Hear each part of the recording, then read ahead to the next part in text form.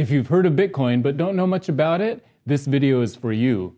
I'll give you a basic broad overview, starting with an explanation of why this is something brand new in human history, and then show you some key ideas about how Bitcoin works.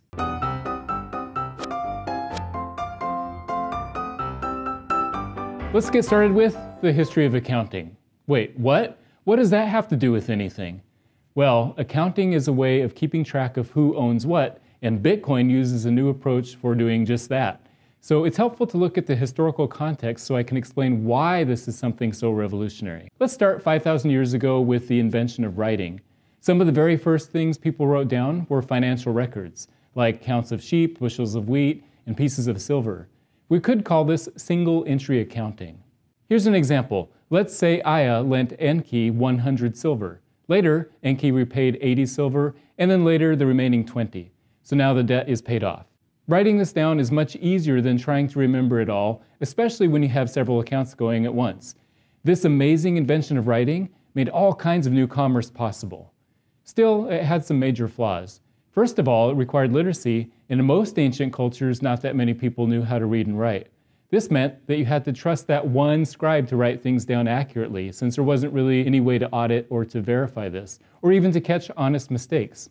Even Jesus uh, references this problem in his parable of the unjust manager, who, when he was about to get fired, shrewdly went around and changed all of the debtor's bills. So, single entry accounting was far from perfect, but it was still a pretty big deal. Next, let's fast forward a couple thousand years to the invention of double entry bookkeeping, described in this book from 1602 although it was probably invented earlier in the 13 or 1400s. For example, the Medici family used it in Florence. The basic idea is this you enter everything twice, in credits and debits. Let's say Giovanni lends 5 gold to Leo. He subtracts 5 from his cash assets and adds 5 to his loan's receivable assets. Leo could make a similar pair of entries in his books. This minimizes errors because every entry to an account requires a corresponding and opposite entry to a different account, and it allows for auditing and balancing the books. And once again, this invention in accounting helped spur innovation in commerce. This, along with things like the printing press, stock markets, and centralized bank ledgers, made all kinds of new things possible. And it's still the basis of modern accounting. So, single entry accounting meant that you didn't have to remember everything in your mind, you could write it down.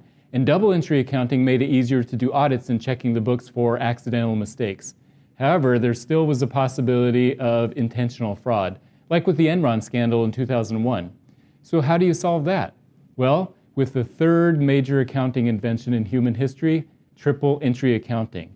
That's what Ian Grigg calls it in this 2005 paper, where he describes a system of adding a third entry, a cryptographic digital signature on the receipt that validates the transaction. He describes the principle that the receipt is the transaction. Almost three years later, Satoshi Nakamoto added the ideas of a public distributed blockchain ledger and proof of work coin distribution to create the most successful implementation of this idea, which is Bitcoin. Okay, so to way oversimplify this, let's say that Alice pays Bob half a Bitcoin. We can think of it as subtracting from Alice's account and adding to Bob's account. And then here's the key thing we include a third entry, which is a cryptographic hash confirming the transaction as valid. And since this verification happens mathematically, you cannot cheat the system and spend more than you have. It acts like a continuous automatic audit. This also means you don't have to trust some central authority to approve the transaction as valid. That's a simplified description. If you want to get technical, theoretically, Bitcoin implements a single entry accounting system and double entry bookkeeping is normalized away by the fourth normal form. Anyway, in practice, it could be implemented several different ways. But here's the big picture. This idea of cryptographically verified, trustless, decentralized system of accounting is what is brand new in human history and may just usher in a whole new era of how we think about and use money. Trace Mayer calls this monetary sovereignty and says it's a once in a species opportunity. This is a once in a species opportunity to shift from double entry bookkeeping to triple entry bookkeeping that has the hardest, strictest monetary policy or emission schedule uh, that the species has ever known. Michael Saylor calls Bitcoin the apex asset and the most disruptive technology in the world. On the other hand, when Warren Buffett was asked about the value of Bitcoin, he said, Cryptocurrencies basically have no value and they don't produce anything. So you can look at your little ledger item for the next 20 years and it says you've got X of this cryptocurrency or that. But in terms of value, uh, you know, zero. I suppose only history will tell who's right. Probably the truth is somewhere in the middle. Okay, so that's the big picture. We might just be living through the third major revolution in financial accounting. Let's look specifically at Bitcoin. I'll explain some of the key ideas of how it works. After a few earlier attempts by others, in 2008, a mysterious figure named Satoshi Nakamoto announced a new digital currency system in this eight page white paper. He and others started writing the code, and within a few months, it went live online and they started using it. So, how does it work? I'm going to skip a lot of the detail and give you just a broad overview. First of all, it's a public distributed ledger. Ledger is a big list of what payments have been made so we know how much is in each account. It's public, meaning everyone can see and verify as valid those balances and transactions. And although it's public, there is some privacy, since each account is just a big number with no name attached. But with some data analysis, it's possible to figure out who owns some of the accounts and see their transactions. It's distributed, meaning the list is on lots of different servers around the world, which all agree on the one official canonical ledger. Wait a minute, how do they all come to an agreement with no central authority? Mathematics. A one way hash function proves the validity of the ledger and also plays a part in determining who gets to add new transactions to the list. See my previous video for more details about the SHA-256 hash function. Okay, so if it's a public ledger, what's to keep someone else from transferring my bitcoins into their own account? The answer is a really cool invention called public key cryptography, in which you mathematically generate a pair of keys, a private key and a public key. Your Bitcoin address or account number is created from that public key, but only transactions that have been properly signed by that corresponding super secret private key can actually spend money from that account. Public key cryptography allows you to approve a transaction with your private key, which can be verified as authentic by anyone with the public key and only those properly signed transactions are considered valid. This also means Bitcoin cannot be stolen. Wait a minute, how can that be? Maybe you've seen headlines about theft and Bitcoin fraud. That's true, but in each of those cases, the hackers somehow got a hold of the private key. Your account is as safe as your private key. No Bitcoin has ever been stolen without that private key. Even governments and the law enforcement agencies cannot seize funds without it. Here's an analogy. If cars could never be hotwired, the only way to steal a car would be to steal the keys to the car. Okay, so this is fantastic news for all of you anarchist libertarians out there. The power of money is wrested from the clutches of governments and central banks. Value can be transacted anonymously. And indeed, in the early days of Bitcoin, this was the major draw to cryptocurrencies.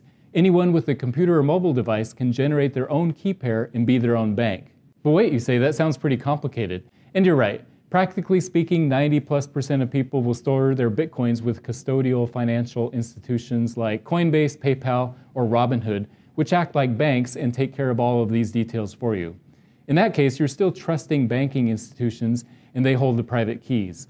The libertarian purist will object by quoting this maxim not your keys, not your coins. That's true, and there are trade offs. I'll talk about more of these options in a future video about hardware wallets. Next, I'll answer this question where do Bitcoins even come from? The answer is mining. Mining is the process of adding new transactions to the big ledger of accounts. About every 10 minutes, a bunch of new transactions are bundled up together into a so called digital block and then added to the end of the existing chain of blocks, hence the name blockchain. It's a big long chain of transactions. Each block includes about 2,500 properly signed transactions from one account to another.